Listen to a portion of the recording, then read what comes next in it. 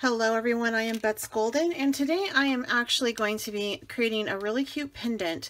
Uh, I originally wanted to do this with resin, but I discovered that my glass glaze works really beautifully with this. And so these are alcohol inks by Kristie Taylor's Creation. I'm going to pull the camera down just a little bit so that we can really zoom in here. And I'm using pinks and reds today to create this heart. So what I want to do is I first want to put down some white. And what makes these alcohol inks special is this is a highly pigmented ink. The one with her yellow is highly pigmented. And then hers, her labels that are blue have shimmer in them. So you don't have to add anything in. And I'm just going to lay down this white first because it's going to create a really nice base for um, my ink to go in. And I'm okay if it doesn't dry entirely because I'm, I'm fine with it mixing in with my glaze. So I'm just going to put my glaze down. And I am going to put a lot of ink on this, so I just want to make sure that the glaze is kind of covering all the areas, but I don't want it going up and over and already it's starting to interact really beautiful with this. And I'm going to put down first um, I want to put down some pink. And I'm not going to do sparkle on this I'm just going to do the straight up pigment. And it literally is going to be a drop here and there. Like it's going to be a drop and you got to make sure that you shake it up really well and it's already starting to move and interact. And then I'm going to do um, the Ray Red and put that down here on the bottom. And I might just continue just to build and build and build color. So I'm going to keep these open off to the side. I will list her YouTube down below as well as her um, information. Ooh, I love how that one looks. All right, so that's totally interacting, doing some really cool stuff. And as it dries and sets up, it will still move around. And then I'm going to put some gold. All right, and then from there, I'm to drop on some more white.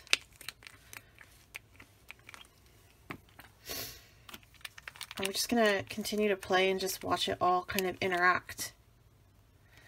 See, it just pushes it. It's so fun. and I really liked that one. So pretty. And then we're to do the pink again up here. And I'm just going to keep filling and filling until it's full. So we're just adding layers of color and I'm kind of ending each section with white.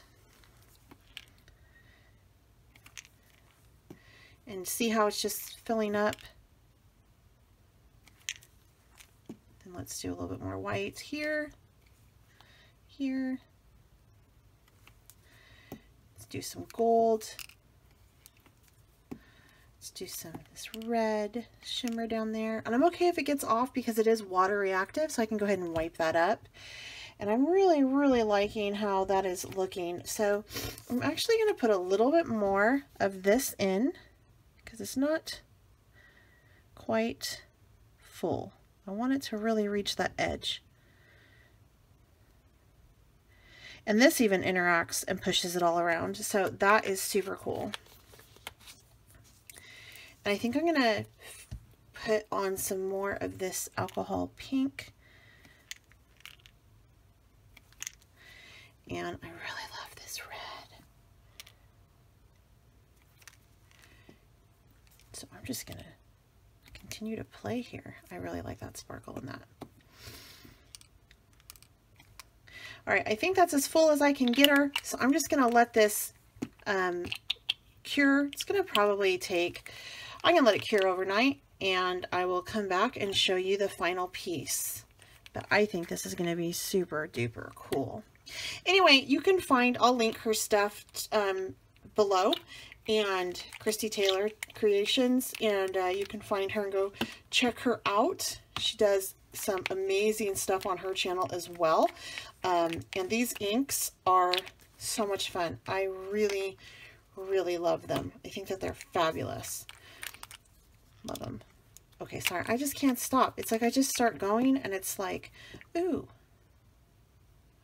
And the white pushes it around because it's heavy. Okay, okay, I gotta go now. All right, I'm gonna leave it alone and we'll come back tomorrow.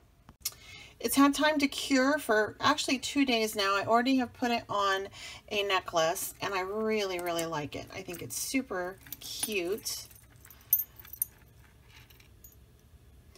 Some of the color dispersed some more and on the edge though, some of it leaked out over, but as long as there's not resin on the edge, I can totally get that off and it'll come off. So I'm super excited about this piece. And again, I just used some little jump hooks and just made a long necklace with this.